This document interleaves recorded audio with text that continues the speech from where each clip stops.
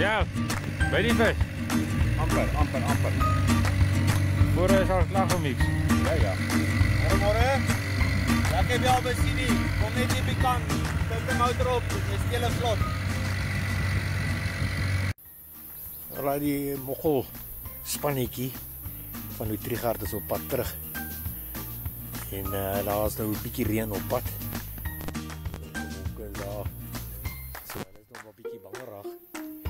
En dan sal ons nou maar hoor of die grootte weggekom het. Kom ons hoor wat het hulle gevang. Die moggelspan van Utrigard.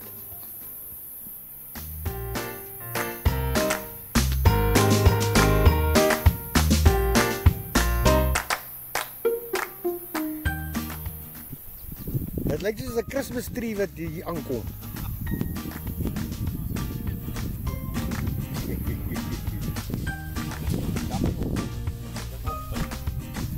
Ja, hy sal. Hy skep maar vanaf van hierdie ding.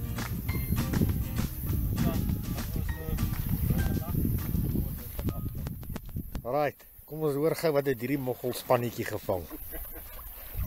Julle het julle net daai twee gevang. Weer in 'n lynbreker. Kom meer vang, hy klop kom meer vat. Ja, En nou te ding my is op. so Pietie, wat jy eintlik sê die grootte het weggekom, né? Ja, Ek het so vermoed, ja. by my stop. En is natuurlik by Sieko se stok oor die grootte weggekom het. Dis natuurlik want ek sien bo baas fucking hengelaar hier. Ja, ek het dit vermoed. En uh die son het julle seker die kak uit die aarde uitgebraai, né? Nee, maar hierdie is 'n kakvlot want hy het nie rotholders nie. Hy het twee. Dis te min. Ja, dat is van my. Dis 'n radarstasie. As jy weer kom en bring jou eie rothouder. Maar kyk nou, kyk nou hoe hierdie manne gepak. Hierdie manne het gedink hulle gaan vir 'n week lank op die dam bly. Is dit die barber? Ja, Lekker vet barber. ja, mooi Dis barber. net meet. Dit meet. Wat het julle hom geweeg? Ja, is dit nou nog nie? Het julle hom geweeg? Nee, is van nog Kom ons weeg hom gou. Hy vir jou. Hæ?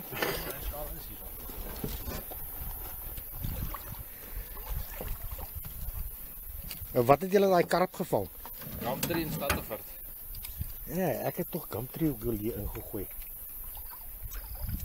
Maar dis mos die sloep hierso, né? Dis mooi enetjie. Ja. Maar hulle is baie besig aan onder. hoor. Ja, hulle is almal in die stroom op. Daar is Hulle stroom op, hoor. baie baie baie beweging. Agter kos aan.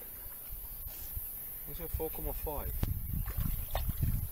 7.3. Wys dit dan maar net. Hoeveel?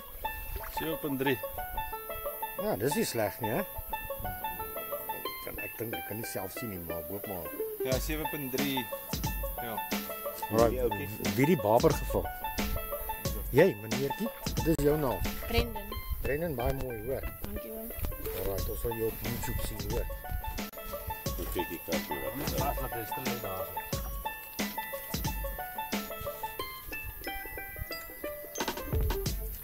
Karpie 5,8. 5,8. 5,9. En wie die karp gevang? Ja, hier is nie die nie. Ah, Hier is nie die. ek wou nou sê, daai lyk vir my bietjie klein vir 5, hoor. Al het gewag het. Hy is seker op pond. sien, dis hoe die moggelspan werk. Hulle wil altyd hê met meer weeg. Dan sit hulle hom op pond in plaas van kilogram. Maar right, kom ons weeg hom in kilogram. 2,8, 2,9. So jy gaan die barber op moet hoor. Hy het gewig verloor. Ja, 2,9. Dis 'n markkarp gewees. Hy het gewig verloor. Dit eintlik nie te veel vir sewe. Ek babber stem saam. Draai weer. Ek het gesê oorspronklik 4 tot 4,0. Ja.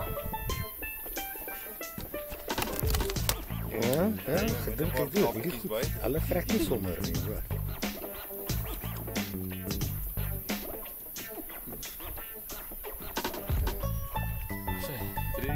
3.6. 3.6. Ja. Daar's hy. Mooi barber. Baie nice. So.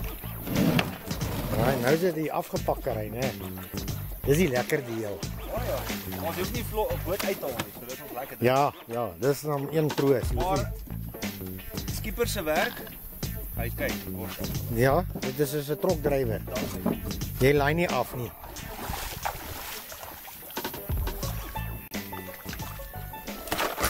Net seker maak wat het julle gedrink nie, maar lyk my hierdie manne het net Coke gedrink. Ja.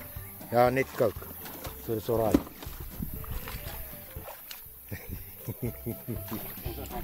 Goed sy. Ja. Dis maar so op 'n stadium lekker warm, hè. Waar kom die reën? Die reën kom. Ja, hoor jy, dit het gestrop. Nou al die riepakwerk en gelaai en afgelaai hy vir twee visse. Dit alles vir twee visse. Was sekerlik die moeite werd. geweest. Ja. Niemand het hier vis gevang nie so.